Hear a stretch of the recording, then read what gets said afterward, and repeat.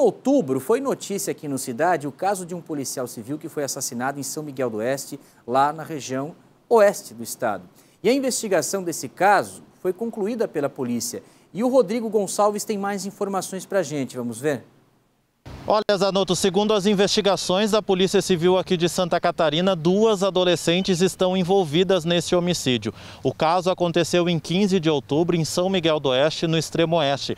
Um policial civil foi encontrado morto dentro da casa onde morava com a família, com vários golpes de faca. Segundo as investigações, a Polícia Civil foi acionada no mesmo dia do crime e minutos depois já teve informações e conseguiu identificar que duas adolescentes estariam envolvidas neste homicídio, sendo que uma delas é a filha desse policial civil. As investigações dão conta que foi possível identificar o itinerário dessas duas adolescentes antes e depois do crime e que elas sim planejaram todo esse homicídio.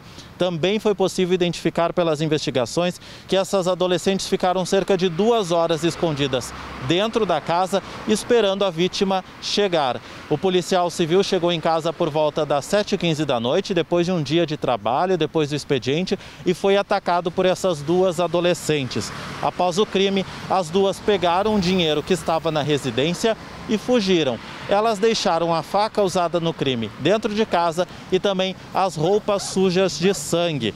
A investigação então concluiu que as duas adolescentes praticaram atos infracionais análogos ao crime de homicídio qualificado pelo motivo torpe, emboscada e traição.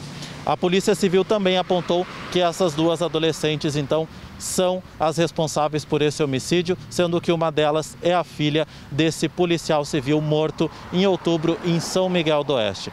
Zanotto, volto com você no estúdio do Cidade Alerta Santa Catarina.